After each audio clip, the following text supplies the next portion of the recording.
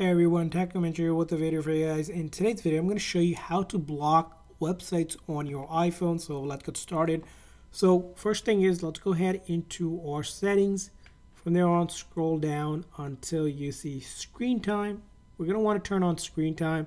If you haven't used it, you want to go ahead and turn it on. And then you want to set a passcode for the screen time. So tap on it here to turn it on. I already have one on here, so I can I can change it or add a new one. So just enter a passcode that you remember. Of course, make it more complex than what I have here. So I'm just setting it as simple one. And then you're going to put your Apple ID. So you, if you forget it, you can always reset it.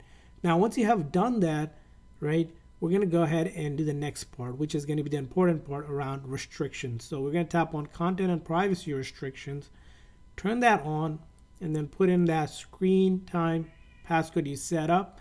And then under App Store, Media, Web, and Games, we're going to tap on that.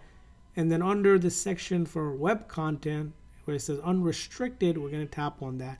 From there on, we're going to restrict sites. So there's two different ways to do it. First is if you just want to limit adult sites, you can select that option, and it's just going to limit any adult website automatically.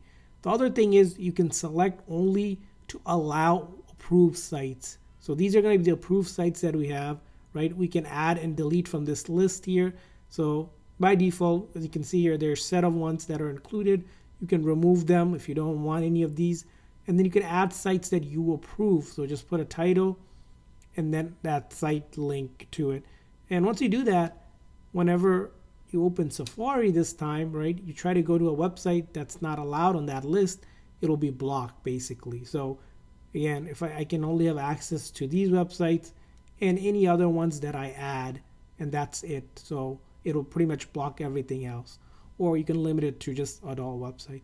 But that's how you do it. I hope this video was helpful. If so, please consider hitting a like and subscribe button for more tips and tricks for your iPhone. See you guys next time.